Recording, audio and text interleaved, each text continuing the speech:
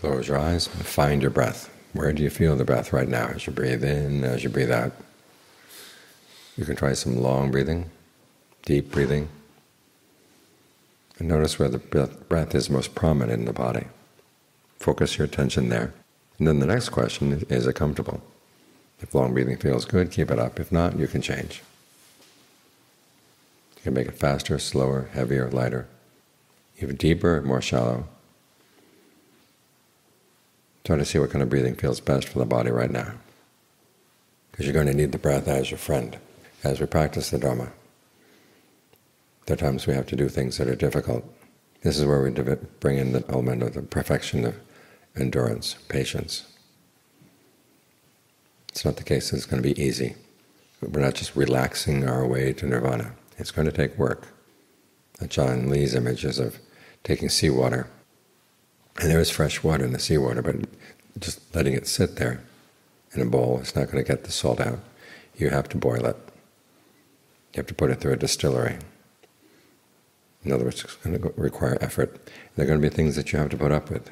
It's not going to be easy all the time. But you will get your fresh water. In the meantime, though, you have to learn how to talk to yourself so that you can stick with the practice. As the Buddha points out, there are four types of action in the world. Things that are going to give you good results and they're things you like to do. Things that give bad results and you don't like to do them. Those are easy. Doesn't take much effort. The ones that are not easy are the ones where you like to do something but you know it's going to lead to long-term harm. Or there's something you don't like to do, but it will lead to long-term well-being. So in those cases you have to learn how to talk to yourself so you can increase your endurance Talk to yourself in a way that gives you encouragement. And at the same time, learn how to use the breath as your friend. Because you can breathe easily, you can breathe comfortably no matter what the situation is.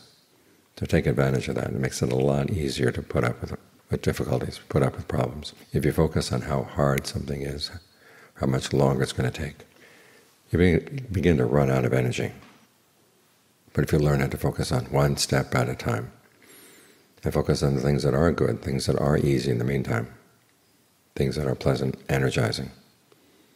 Then you find that you do have the energy. You have this potential for energy in the body and in the mind. And for the most part, we don't make use of it.